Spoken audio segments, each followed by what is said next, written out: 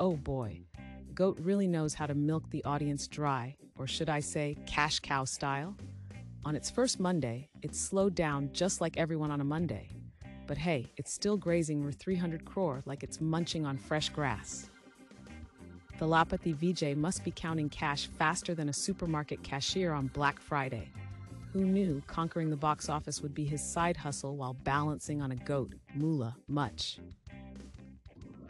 So it's Monday, you drag yourself out of bed, and apparently so does Goat.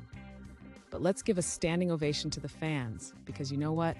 They've got the movie rolling, even if it means moral support via memes. Is it just me, or does Thalapathy Vijay's goat have more suspense than my life decisions?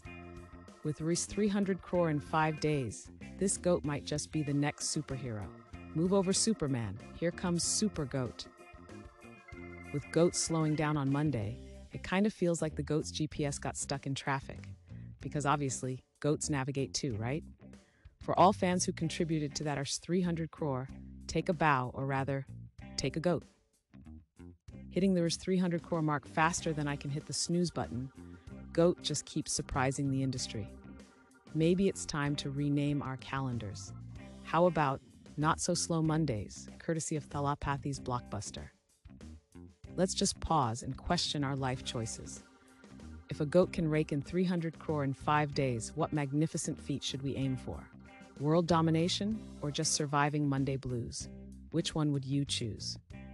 Like and subscribe, please.